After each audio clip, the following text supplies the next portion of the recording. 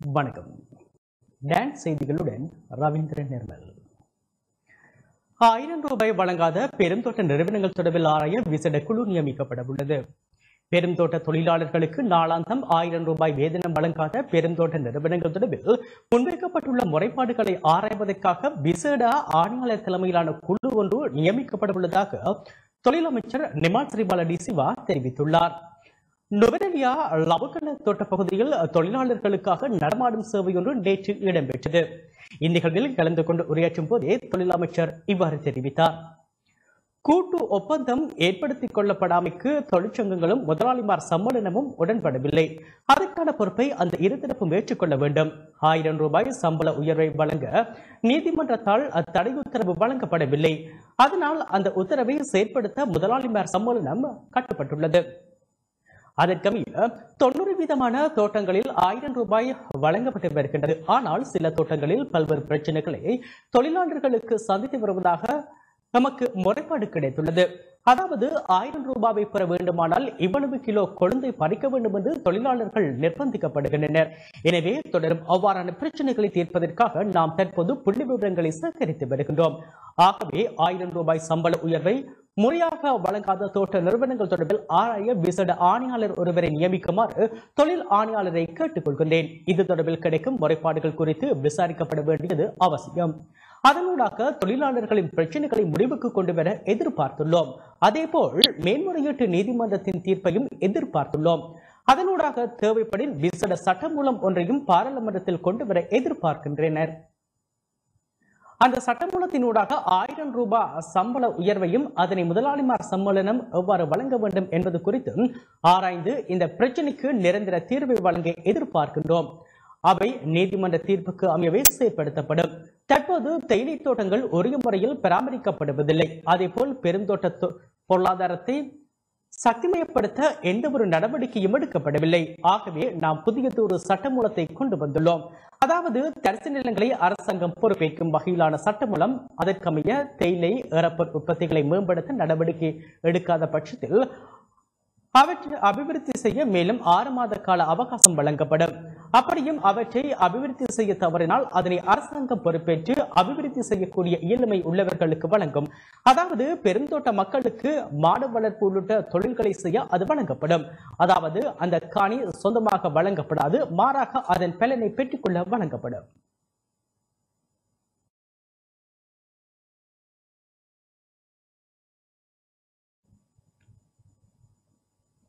கடல் அட்டை பண்ணி அமைப்பது தொடர்பாக அமைச்சர் டக்ளஸ் தேவானந்தா கூறியதில் முழு உண்மை இல்லை என நாடாளுமன்ற உறுப்பினர் எம் ஏ சுமந்திரன் தெரிவித்தார். கிளிநொச்சி மாவட்ட செயலகத்தில் அண்மையில் இடம்பெற்ற ஒருங்கிணைப்பு குழு கூட்டத்தின் போது கடலட்டை பணி அமைப்பதில் பிரதேச சபைகளின் கருத்துக்களை பெற்றுக்கொள்ள வேண்டும் என தான் கூறிய கருத்தை மறைத்து ஒரு பகுதியை மாத்திரம் வெளியிட்டுள்ளதாக தமிழ் தேசிய கூட்டமைப்பின் நாடாளுமன்ற உறுப்பினர் எம் ஏ சுமந்திரன் தெரிவித்துள்ளார். கடலட்டை பணிகளை அமைப்பதற்கு பிரதேச சபைகளின் அனுமதிகளை பெற்றுக்கொள்ள வேண்டிய தேவையில்லை என அமைச்சர் டக்ளஸ் தேவானந்தா தெரிவித்த கருத்தை நாடாளுமன்ற உறுப்பினர் எம். சுமந்திரன் ஏற்றுக்கொண்டதாக செய்திகள் வெளியாகியிருந்தன இது தொடர்பாக இன்று தினம் யாழ்ப்பாணத்தில் ஊடகவியலாளர்கள் கேள்வி எழுப்பிய போதே எம். சுமந்திரன் இவ்வாறு தெரிவித்தார். கிளிநொச்சி மாவட்ட அபிவிருத்தி சபை கூட்டத்திலே இந்த விடயத்தை பற்றி அஹ், குழு தலைவர் அமைச்சர் டக்ளஸ் தேவானந்தா பிரஸ்தாபித்திருந்தார் சட்டத்திலே அனுமதி எடுக்க தேவையில்லை என்று இருக்கிறது என்று சொல்லி அந்த பிரதி ஒன்றை எனக்கு காண்பித்தார். அதை படித்து பார்த்தபோது பிரதேச சபையினுடைய கருத்தை பெற வேண்டும் என்று அதிலே சொல்லப்பட்டிருக்கிறது. நான் அதனை படித்து காண்பித்தேன். பிரதேச சபையுடைய கருத்தை பெற வேண்டும் என்று சொல்லப்பட்டிருக்கிறது. அனுமதி என்ற சொல் இல்லை என்பது உண்மை. ஆனால் கருத்தை வேண்டும் என்று சொல்லியிருக்கேன் ஆனால் இப்பொழுது அமைச்சு வெளியிட்டிருக்கிற அறிக்கையிலே கருத்தை பெற வேண்டும் என்ப என்கின்ற முக்கியமான விடயத்தை தவிர்த்து அனுமதி தேவையில்லை என்பதை அஹ், நான் ஒப்புக்கொண்டதாக மட்டும் அஹ், சொல்லியிருக்கிறார்கள். அது அஹ், அரை உண்மை அஹ், முழுமையான விடயம் என்னவென்று சொன்னால் பிரதேச சபையுடைய கருத்தை கட்டாயமாக பெற வேண்டும். ஒரு அமைப்பினுடைய கருத்தை பெற வேண்டும் என்று சட்டம் நிர்பந்திக்கிற போது அதை வெறுமனே பெற்றுவிட்டு அதனை கவனிக்காமல் நடந்து கொள்ளலாம் என்ற அர்த்தம் கிடையாது. கருத்தை பெறுவதற்கான காரணம் அந்த கருத்தை உள்வாங்கி அதில் இருக்கிற நியாயங்களை பரிசீலித்து தான் முடிவு எடுக்க வேண்டும். ஆகையினாலே சட்டத்தில் பிரதேச சபைகளுடைய கருத்தை பெற வேண்டும் என்பதால். களத்துறை மாவட்டம் அழுத்கமவில் தொடர்ந்து மோதி ஒன்பது வயது சிறுவன் உயிரிழந்துள்ளார் களத்துறை அழுத்கம தொடருந்து நிலையத்துக்கு அருகில் சிறுவன் ஒருவன் தொடர்ந்து மோதி உயிரிழந்துள்ளதாக போலீசார் தெரிவித்துள்ளனர். காலையிலிருந்து கல்கிசை நோக்கி பயணித்த தொடருந்தில் குறித்த சிறுவன் மோதுண்டு விபத்துக்குள்ளாகியுள்ளதாக தெரிவிக்கப்பட்டுள்ளது. உயிரிழந்தவர் தர்கா நகரை சேர்ந்த ஒன்பது வயதான சிறுவன் என போலீசார் தெரிவிக்கின்றனர். அழுத்தம தொடருந்து நிலையத்திலிருந்து குறித்த தொடருந்து புறப்பட தயாரான போது கடவையில் மறுபுறத்தில் இருந்த பெற்றோர் தம்மிடம் வருமாறு சிறுவனை அழைத்துள்ளனர். இதனையடுத்து குறித்த சிறுவன் பெற்றோரிடம் செல்ல முற்பட்ட போதே தண்டவாளத்தில் தவறி விழுந்ததை அடுத்து தொடர்ந்தில் மோதுண்டதாக விசாரணைகளில் தெரிய வந்துள்ளது. சம்பவம் தொடர்பில் போலீசார் விசாரணைகளை முன்னெடுத்துள்ளனர். நுவரெலியா மாவட்டம் அக்கரப்பத்தின தோட்ட தொழிலாளர்கள் நாளை முதல் பணிக்கு திரும்புவார்கள் என இலங்கை தொழிலாளர் காங்கிரசின் பொதுச் செயலாளரும் ராஜாங்க அமைச்சருமான ஜீவன் தொண்டமான் தெரிவித்துள்ளார். நுவரெலியா மாவட்டம் அக்ரப்பத்தினி பிளாண்டிசனால் வழங்கப்பட்டுள்ள உறுதிமொழிகள் நிறைவேற்றப்படாத பட்சத்தில் தொழிற்சங்க நடவடிக்கை கடுமையாக அமையும் என்று இலங்கை தொழிலாளர் காங்கிரசின் பொதுச் செயலாளரும் ராஜாங்க அமைச்சருமான ஜீவன் தொண்டமான் திட்டவட்டமாக தெரிவித்துள்ளார் அக்ரபத்தினி பிளான்டிசனுக்குட்பட்ட தோட்டங்களில் வேலை செய்யும் தொழிலாளர்கள் நாளை முதல் பணிக்கு திரும்புவார்கள் எனவும் நிர்வாகத்திடமிருந்து எழுத்து மூல உத்தரவாதம் கோரப்பட்டுள்ளதாகவும் ஜீவன் தொண்டமான் தெரிவித்துள்ளார். அக்கரப்பத்தினி பிளான்டேஷனுக்குட்பட்ட தோட்டங்களில் வேலை செய்யும் தொழிலாளர்கள் கடந்த ஏழு நாட்களாக பணி புறக்கணிப்பு போராட்டத்தில் ஈடுபட்டு வந்தனர்.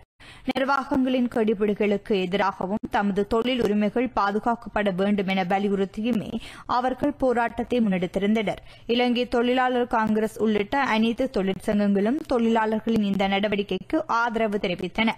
இது தொடர்பில் ஹேட்டனில் உள்ள தொழில் திணைக்களத்தின் அலுவலகத்தில் பேச்சுவார்த்தையும் இடம்பெற்றிருந்தது. இந்நிலையில் ஆக்கிரப்பத்தினை டயகம் ஆகிய தோட்டங்களுக்கு நேற்று விஜயம் செய்த ராஜாங்க அமைச்சர் தொண்டமான் உள்ளிட்ட இலங்கை தொழிலாளர் காங்கிரஸ் பிரமுகர்கள் தொழிலாளர்களுடன் அடுத்த கட்ட நகர்வுகள் தொடர்பில் கலந்துரையாடினர். நிர்வாக தரப்பில் வழங்கப்பட்டுள்ள உறுதிமொழிகள் பற்றியும் விவரித்தனர். அந்த வகையில் தொழிற்சங்க தற்காலிகமாக கைவிடுவதற்கும் நாளை முதல் வேலைக்கு திரும்புவதற்கும் தீர்மானிக்கப்பட்டுள்ளது. மக்களுடனான சந்திப்பின் பின்னர் ஊடகங்களிடம் கருத்து வெளியிட்ட ராஜாங்க அமைச்சர் ஜீவன் தொண்டமான். அக்ரபத்திர பிளான்டேஷன் அதாவது லாங்கம் கம்பெனிக்கு அடியில் இயங்குற அக்ரபத்திர பிளான்டேஷன் வந்து மக்களும் ரொம்ப மோசமான நிலைமையில நடத்திட்டு இருக்காங்க. இது இன்னைக்கு நேத்து இல்ல. இது பல வருஷமா அப்படி பண்ணிட்டு இருக்காங்க. ஆனா ஒவ்வொரு வருஷமும் நாங்களும் பேசி பேசி அவங்கள்ட்ட இருந்து உத்தரவாதம் வாங்குவோம். ஆனா அவங்க அதை ஃபாலோ பண்ணதும் இல்ல. நாங்க வந்து அதனால தான் இந்த தடவை ஒரு முடிவு எடுத்தோம். இந்த ஒரு வருஷம் நாங்க வந்து அமைதியா இருந்தோம். தொழிற்சங்க ஆர்ப்பாட்டத்துல எல்லாம் ஈடுபடாம. ஏன்னா நாங்க மாற்று தொழிற்சங்க ஏனைய தொழிற்சங்கத்துக்கு ஒரு வாய்ப்பு தந்தோம். மக்களோட பிரச்சனை முடிக்க. ஏன்னா கூட்டப்பந்தம் இல்ல தானே? ஆனா அவங்க முடிக்கிற மாதிரி தெரியல. அதனால தான் இந்த தடவை நாங்க வந்து ஒரு முன்னுதாரணமா இருந்து நாங்க வந்து இந்த பிரச்சனையை முடிக்கிறதுக்கு ஒரு வேலை நிறுத்த ஆர்ப்பாட்டத்தை முடிவு செஞ்சோம். உண்மைக்கும் இங்க இருக்க அனைவருக்கும் நான் நன்றி சொல்லி ஆகணும். ஈத்தோக்காவோட அங்கத்தவர்கள் மட்டும் இல்ல ஈத்தோக்காவோட தலைவர் தலைவிகள் மட்டும் இல்ல அனைத்து கட்சி அனைத்து தொழிற்சங்க தலைவர் தலைவிகளும் இதுக்கு ஆதரவு தந்திருந்தாங்க. அவங்களோட தலைமத்துவம் ஆதரவு தந்தாங்களா இல்லையான்னு எனக்கு தெரியாது. ஆனா அடிமட்டத்தில் அவங்க அவங்க ஆதரவு தந்திருந்தாங்க. அதுக்கு என்னோட மனமார்ந்த நன்றி தெரிவிச்சுக்கிறேன். இன்னைக்கு அக்ரபத்தன பிளான்டேஷன் பாத்தீங்கன்னா இபிஎஃப் இடிஎஃப் கிட்டத்தட்ட மூவாயிரத்தி சொச்ச நபர்களுக்கு தராம இருந்திருக்காங்க. அதுல சில பேர் இறந்தும் போயிருக்காங்க. அவங்களுக்கும் நியாயம் கிடைச்சாகணும். அதே மாதிரி நூத்தி ஐம்பது நாள் தாண்டி பல் நிறைய பேர் வந்து வேலை பதிவு செய்யாம வச்சிருக்காங்க. அவங்களையும் பதிவு செய்யுமாறு நாங்க வந்து ஒரு கோரிக்கை விட்டுருக்கோம். அது மட்டும் இல்லாம நிறைய இடத்துல பாத்தீங்கன்னா அஞ்சு கிலோ ப- அஞ்சு கிலோ ஒரு நிலவைக்கு குறைச்சிட்டு இருக்காங்க. அப்படி பார்த்தா ஒரு நாளைக்கு பதினஞ்சு கிலோ குறைச்சிருக்காங்க. இந்த பதினஞ்சு கிலோ எங்க போகுது யாருக்கு போகுதுன்னு அதுவும் தெரிஞ்சாங்க அதே மாதிரி இன்னைக்கு சில இடத்துல பாத்தீங்கன்னா இருபது கிலோ கட்டாயம் பறிக்கணும்னு சொல்லியிருக்காங்க. மட்டும் இல்லாம சர்வீஸ் கிராட்டுவிட்டி தரல. தரிசு நிலங்களை இளைஞர்களுக்கு தரேன்னு சொல்லிட்டு வெளியாளர்களுக்கு தந்திருக்காங்க இளைஞர்களுக்கு தரல. அதே மாதிரி நாங்க வந்து பல்வேறு வேலை திட்டங்களை கொண்டாடலாம் இருந்தோம். வீடு திட்டம் குறிப்பா கொண்டாடலாம் இருந்தோம். ஆனா அதுக்கு வந்து இவங்க அரசியல் செய்யறனால அதாவது நாங்க ஆயிரம் வாங்கி தந்தனால இவங்களுக்கு இஷ்டம் இல்ல வீடு கட்டுறதுக்கு. இவங்களை பொறுத்த வரைக்கும் எங்க தோட்டத்துல இவங்க பொறக்கல எங்க- தோட்டத்துல இவங்க வேலை செய்யலன்னா வீடு கட்டி தர முடியாது. அதனால தான் நாங்க வந்து திருப்பி சொல்லிடுவோம் காணி உரிமை எங்களுக்கு ரொம்ப முக்கியம். ஆனா இந்த காரணம் எல்லாத்தையும் வச்சுதான் நாங்க வந்து வேலை நிறுத்த போராட்டத்துக்கு போயிருந்தோம். அது வெற்றிகரமா தான் போயிருக்கு. இப்ப எங்களை பொறுத்த வரைக்கும் கம்பெனி வந்து வாய் மூலியமா எங்கள்கிட்ட சொல்லியிருக்காங்க. அதை நாங்க எழுத்து மூலியமா எதிர்பார்க்கிறோம். ஏன்னா எங்களுக்கு இந்த கம்பெனியோட பேச்சுல நம்பிக்கை இல்ல. எழுத்து மூலியமா இருந்தா நாங்க நம்புவோம். இவங்க வந்து நிறைய பிரச்சனைகள் வந்து சொல்லி நிறைய கோரிக்கைகள் நாங்க வச்சிருந்தோம். இது எல்லாத்துக்கும் ஒரு தீர்வு தந்திருக்காங்க. ஆனா இதெல்லாம் எழுத்து மூலியமா வர வரைக்கும் இதை நான் ஒரு வெற்றியா பார்க்க மாட்டேன் எழுத்து மூலியமா வந்தோடனே இதை நாங்க ஒரு வெற்றியா பார்ப்போம். இப்ப இருக்க நிலைமையில தொழிலாளர்கள் அனைவரும் திங்கக்கிழமையில இருந்து வேலைக்கு போவாங்க. ஆனா ஒரே ஒரு வித்தியாசம் என்னன்னா அனைவரும் சமமா பறிப்பாங்க. இனிமே இந்த துறை சொல்றபடியோ இல்லாட்டி சின்ன துறை சொல்றபடியோ பறிக்க போறது இல்ல மக்கள் அங்க என்ன பறிக்கிறாங்களோ அதான் இனிமே நோம். இது எல்லா தோட்டத்திலையும் அமல்படுத்துமாறு கேட்டுக்கொள் யாழ்ப்பாணம் நெடுந்தீவுக்கு அருகே சட்டவிரோதமாக மீன்பிடி நடவடிக்கையில் ஈடுபட்டிருந்த இந்திய மீனவர்களில் நாற்பத்தி மூன்று பேர் கடற்படையினரால் கைது செய்யப்பட்டுள்ளனர். யாழ்ப்பாணம் நெடுந்தீவுக்கு அருகே எல்லை தாண்டி மீன்பிடியில் ஈடுபட்டிருந்த இந்தியா ராமேஸ்வரம் மீனவர்கள் நாற்பத்தி மூன்று பேர் கண்காணிப்பு நடவடிக்கைகளில் ஈடுபட்டிருந்த கடற்படையினரால் கைது செய்யப்பட்டுள்ளனர். இதன்போது ஆறு படகுகளும் கைப்பற்றப்பட்டுள்ளதாக கடற்படையினர் தெரிவித்துள்ளனர். இவ்வாறு கைது செய்யப்பட்ட மீன்களும் அவர்கள் பயணித்த படகுகளும் மயிலட்டி துறைமுகத்துக்கு அழைத்து வரப்பட்டது. தொடர்ந்து கொரோனா பரிசோதனைகள் மேற்கொள்ளப்பட்டு இடைத்தங்கள் முகாமுக்கு அழைத்து செல்லப்பட்டுள்ளதாக அறிவிக்கப்பட்டுள்ளது கைது செய்யப்பட்ட இந்திய மீனவர்களால் பிடிக்கப்பட்ட மீன்களையும் கடற்படையினர் பறிமுதல் செய்தனர். ராமேஸ்வரம் மீனவர்கள் கடற்படையினரால் கைது செய்யப்பட்டமை ராமேஸ்வரம் சுற்றுவட்டார மீனவ கிராமங்களில் சோகத்தை ஏற்ப அங்கிருந்து கிடைக்கும் செய்திகள் தெரிவிக்கின்றன. ராமேஸ்வரம் மீன்பிடி துறைமுகத்திலிருந்து நேற்று சுமார் நானூறுக்கும் மேற்பட்ட விசைப்படகுகளில் மீனவர்கள் தமிழக அரசு வழங்கும் மீன்பிடி அனுமதி சீட்டு பெற்று மீன்பிடிக்க கடலுக்கு சென்றுள்ளனர். மீனவர்கள் தனுஷ்கோடிக்கும் நெடுந்தீவுக்கும் இடையே மீன்பிடித்துக் கொண்டிருக்கும் போது நேற்றிரவு அப்பகுதியில் கண்காணிப்பு பணியில் ஈடுபட்ட இலங்கை கடற்படையினர் தாண்டி மீன்பிடித்ததாக ஆறு மீன்பிடி விசைப்படகுகளையும் அதிலிருந்த நாற்பத்தி மூன்று மீனவர்களையும் கைது செய்துள்ளனர். கடற்படையால் சிறைப்பிடிக்கப்பட்ட நாற்பத்தி மூன்று மீனவர்களுக்கு கொரோனா பரிசோதனை செய்யப்பட்டு யாழ்ப்பாணம் மீன்வளத்துறை அதிகாரியிடம் ஒப்படைக்கப்பட்டுள்ளனர். மீனவர்களால் பிடிக்கப்பட்ட மீன்களையும் கடற்படையினர் பறிமுதல் செய்தனர். ஒரே நாள் நள்ளிரவில் ராமேஸ்வரத்தை சேர்ந்த நாற்பத்தி மூன்று மீனவர்களை இலங்கை கடற்படை கைது செய்து சென்ற சம்பவத்துக்கு ராமேஸ்வரம் விசைப்படகு மீனவர் சங்கத்தினர் கண்டனத்தை தெரிவித்துள்ளனர். ராமேஸ்வரத்திலிருந்து நேற்று மீன்பிடிக்க போன விசைப்படகுல ஆறு படகு நாற்பத்தி மூணு மீனவர்களை இலங்கை கடற்படை சிறப்பிடிச்சதா தகவல் வந்திருக்கு. அந்த படகு ஆட்களை எல்லாம் கைது பண்ணி கொண்டு போய்கிட்டு இருக்காங்கன்னு சொல்ற ஒரு தகவல் வந்திருக்கு. உண்மையிலே வந்து இது கண்டிக்கத்தக்கது கண்டனத்துக்குரியது மத்திய மாநில அரசாங்கங்கள் உடனடியா நடவடிக்கை எடுத்து அந்த மீனவர்களையும் படகையும் சேர்த்து விடுதலை பண்றதுக்குண்டான நடவடிக்கை எடுக்கணும். தொடர்ச்சியாக இலங்கை கடற்படை அத்துமீறி மீனவர்கள் அடிச்சு விரட்டுறதும் படகுகளை சேதப்படுத்துறதும் முட்டு மூழ்கடிச்சு மீனவர்களை கொலை பண்றதும் அதை இந்திய அரசாங்கம் வேடிக்கை பார்க்கறது தொடர்ச்சியாக நடந்துகிட்டு இருக்கு. உடனடியா இந்த நாற்பத்தி மூணு மீனவர்களையும் படகுகளையும் விடுதலை பண்றதுக்கு உண்டான நடவடிக்கை எடுக்கணும்.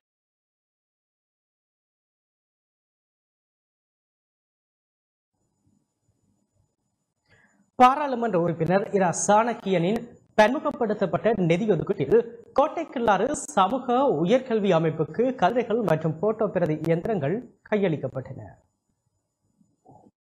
பாராளுமன்ற உறுப்பினர் ராசானக்கியனின் பன்முகப்படுத்தப்பட்ட நிதி ஒதுக்கீட்டில் மட்டக்களப்பு களுவாஞ்சிக்குடி பிரதேச செயலாளர் பிரிவிற்குட்பட்ட கோட்டைக்கல்லாறு சமூக உயர்கல்வி அமைப்புக்கு கதிரைகள் மற்றும் போட்டோ பிரதி இயந்திரம் கையளிக்கும் நிகழ்வு நேற்று மாலை கோட்டைக்கல்லாறு பொதுமண்டபத்தில் நடைபெற்றது. இந்நிகழ்வில் மண்முனை தென்னெருவில் பெற்று பிரதேச சபை பிரதி தவிசாளர் ரஞ்சனி கனகராசா நாடாளுமன்ற உறுப்பினரின் செயலாளர் வி. மதிமேனன் அமைப்பின் பிரதிநிதிகள் இளைஞர்கள் மற்றும் பொதுமக்களும் கலந்து கொண்டனர்.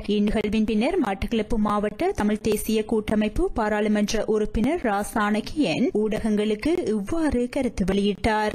அண்மையிலேயே ஒரு தமிழ் மக்கள் விடுதலை புலிகள் கட்சி என்று சொல்லி அவங்களுடைய உத்தியோகபூர்வமான முகநூலிலே ஒரு பதிவொன்றை பார்த்திருந்தேன். தமிழ் கட்சிகள் பதிமூன்றாம் திருத்தட்டம் ஊடாக வரும் மாகாண சபை அந்த தமிழ் கட்சி என்று சொன்னதில் தமிழரசு கட்சி பங்கு பெறவில்லை. ஆனால் அந்த எடுத்த முன்னெடுப்பு சிறந்தது. நாங்களும் முதலமைச்சராக இருந்த பொழுது மாகாண சபையின் ஊடாக கிழக்கு மாகாணத்து சபைக்கு எவ்வளவு விஷயங்கள் செய்த என்று சொல்லப்பட்டிருக்கு. அவள் செய்தது என்ன?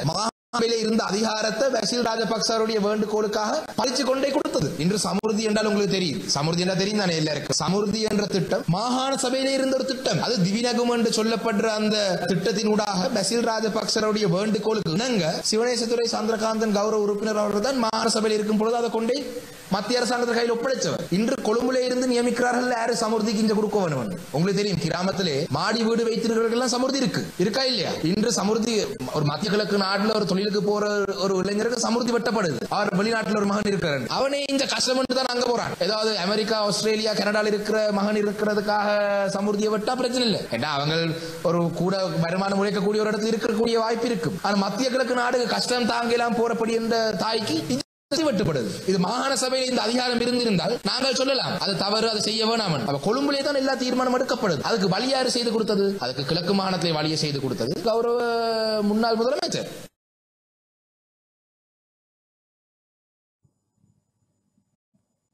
தனியார் தொழிற்சாலை ஒன்றில் பேரன் தூக்கி உடைந்து விழுந்ததில் யுவதியொருவர் மரணமடைந்தது. மற்றொரு யுவதி காயமடைந்துள்ளார்.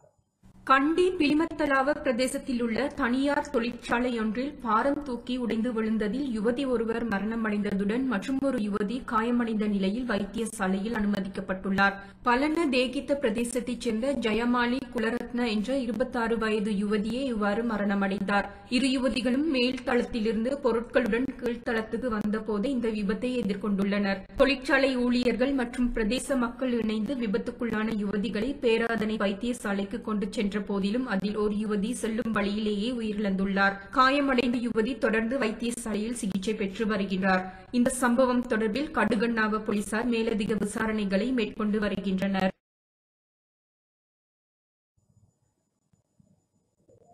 முல்லைத்தீவு புதுக்குடியிருப்பில் காணிப்பணக்குகள் தொடர்பிலான விசேட கலந்துரையாடல் நடைபெற்றது. முல்லைத்தீவு மாவட்டம் புதுக்குடியிருப்பு பிரதேசத்தில் காணிப்பிணக்குகள் தொடர்பிலான கலந்துரையாடல் ஒன்று நேற்று மாலை இடம்பெற்றது. புதுக்குடியிருப்பு பிரதேசத்தில் காணிப்பிணக்குகள் காணப்படும் மக்களின் பிரச்சனைகளுக்கு தீர்வு காணும் நோக்கில் கலந்துரையாடல் இடம்பெற்றது.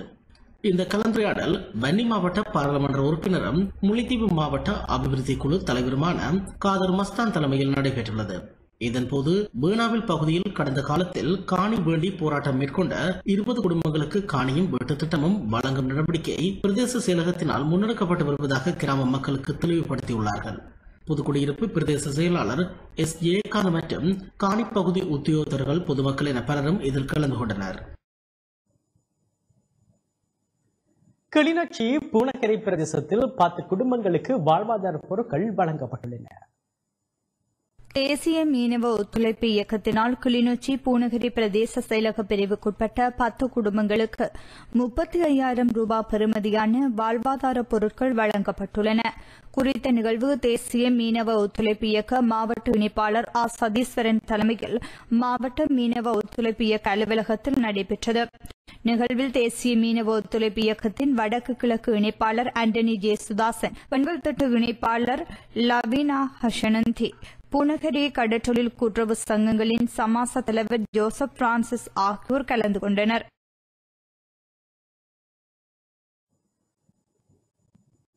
இருபத்தி ஆறில் செங்கடலே இசைத்தட்டு வெளியீட்டு விழா யாழ்ப்பாணம் வடமராட்சியில் இடம்பெற்றது. துயர் பகிரும் ஒளி அஞ்சலி ஓசை எனும் இருபத்தாறில் செங்கடலே இசைக்கட்டு வெளியீட்டு விழா நேற்று யாழ்ப்பாணம் வடமராட்சியில் இடம்பெற்றது.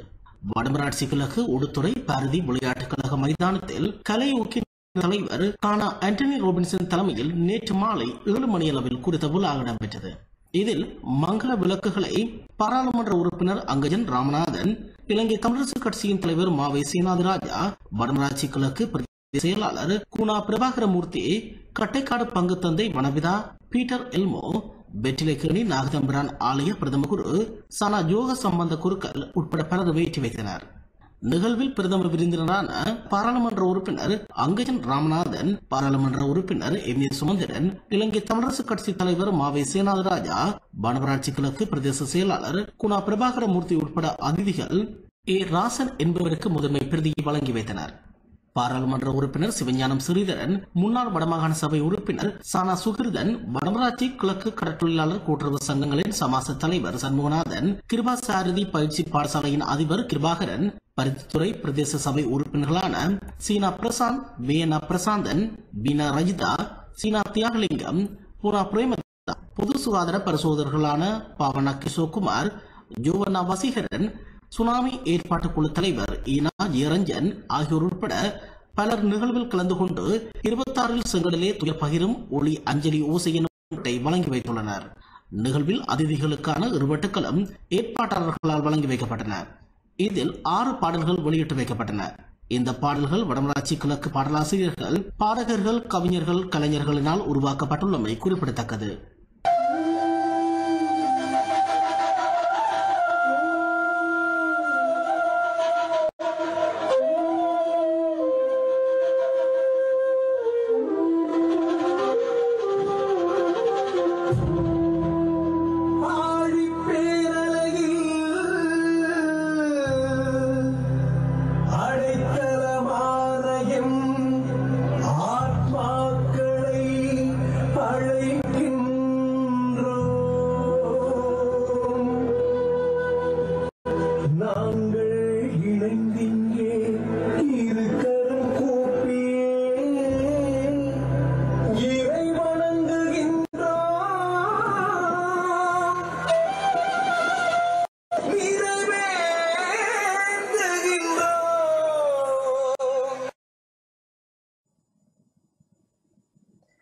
கதிர்காமத்திற்கு யாத்ரிகர்களுடன் பயணித்த பேருந்து விபத்துக்குள்ளானதில் பதினேழு பேர் காயமடைந்துள்ளனர். கிளிநொச்சியிலிருந்து கதிர்காமத்திற்கு யாத்ரிகர்களுடன் சென்ற பேருந்து விபத்திற்குள்ளானதில் பதினேழு பேர் படுகாயமடைந்த நிலையில் வைத்தியசாலையில் அனுமதிக்கப்பட்டுள்ளனர். அம்பாறை பதியத்தலாவி பிரதேசத்தில் குறித்த பேருந்து வீதியை விட விலகி விபத்திற்குள்ளானதாக பதியத்தலாவி போலீசார் தெரிவித்துள்ளனர். சாரதிக்கு நித்திரை ஏற்பட்டதால் இந்த விபத்து ஏற்பட்டிருக்கலாம் என போலீசார் சந்தேகம் வெளியிட்டுள்ளனர். சம்பவம் தொடர்பில் பேருந்து சாரதியை கைது செய்துள்ள போலீசார் மேலதிக விசாரணைகளை முன்னெடுத்து வருகின்றனர். கொரோனா பரவலை கட்டுப்படுத்த ஒன்றரை வருடத்தில் நூற்றி எண்பத்தி ஒரு பில்லியன் நிதி செலவிடப்பட்டுள்ளது. கொரோனா வைரஸ் பரவலை கட்டுப்படுத்த வரவு செலவு திட்ட மானியங்களுக்கு மேலதிகமாக கடந்த ஒன்றரை வருட காலத்திற்குள் மாத்திரம் நூற்றி எண்பத்தி ஒரு பில்லியன் நிதி செலவிடப்பட்டுள்ளது என சுகாதார அமைச்சர் கேகிலி ரம்பத்பல தெரிவித்துள்ளார். கொரோனா நிலவரங்கள் தொடர்பில் கருத்து தெரிவிக்கும் போதே அவர் இவ்வாறு குறிப்பிட்டார். பொதுமக்களின் சுகாதார பாதுகாப்பை உறுதிப்படுத்துவதற்கு அரசாங்கம் பாரிய நிதியை இதுவரையில் செலவழித்துள்ளது. பூஸ்டர் செயலூட்டி தடுப்பூசி செலுத்தியுள்ள நாடுகளின் பட்டியலில் இலங்கை ஐந்தாவது இடத்தில் உள்ளது. தற்போதைய மதிப்பீட்டிற்கு அமைய நூற்றி நாற்பத்தி ஐந்து லட்சம் தடுப்பூசிகள் அவசியமாகும். பெரும்பாலான பூஸ்டர் தடுப்பூசிகள் நாட்டிற்கு கொண்டுவரப்பட்டுள்ளன. எதிர்வரும் இரண்டு மாத காலத்திற்குள் நூற்றி நாற்பத்தி ஐந்து லட்சம் பூஸ்டர் தடுப்பூசிகள் நாட்டிற்கு கொண்டுவரப்படும். கோவிட் பரவலை கட்டுப்படுத்தவும் தொற்றாளர்களுக்கு சிகிச்சை அளிக்கவும் அரசாங்கம் முன்னெடுத்த நடவடிக்கைகளை உலக சுகாதார ஸ்தாபனம் வரவேற்றுள்ளது.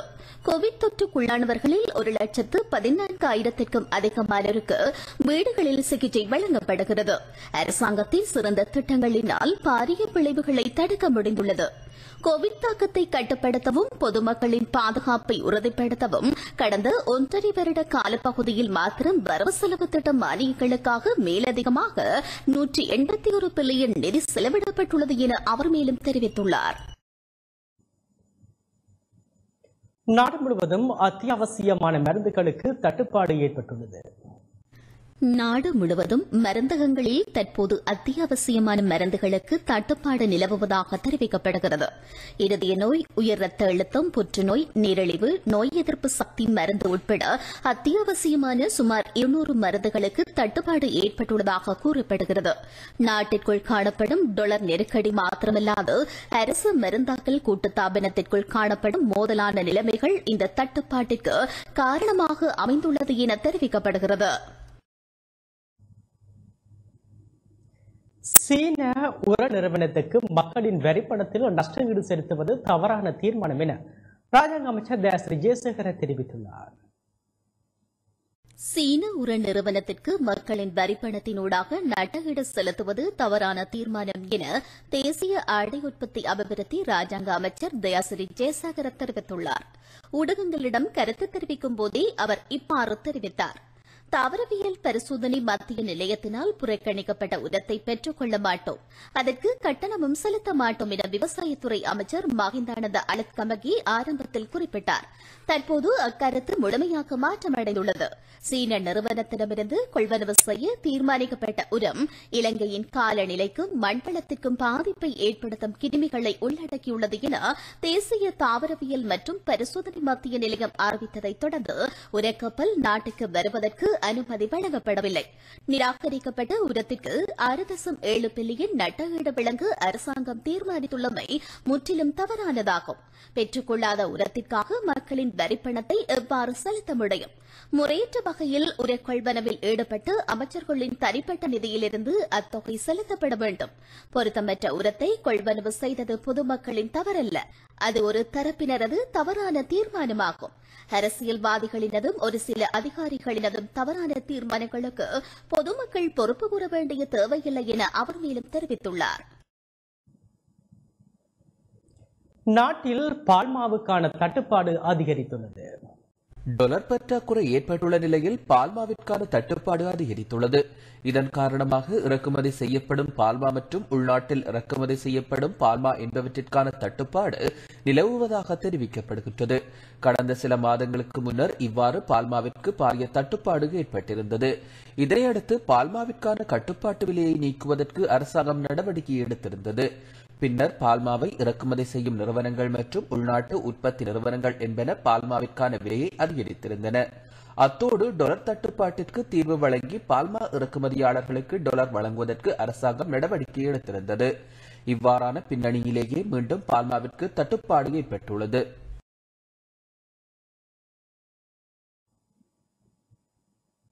ஹம்பாந்தோட்டை முன்னாள் பிரதேச சபை உறுப்பினர் போலீஸ் நிலையத்தில் உயிரிழந்துள்ளார்.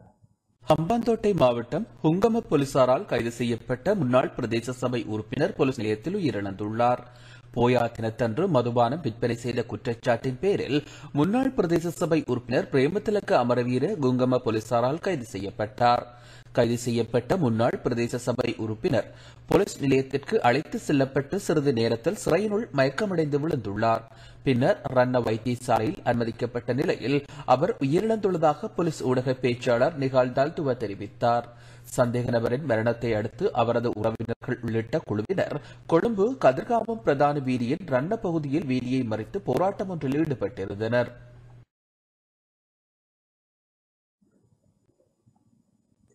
இத்துடன் நமது இந்த செய்தி அறிக்கை நிறைவு பெற்றது. தொடர்ந்தும் எமது செய்திகளுடன் இணைந்தீர்கள் வணக்கம்.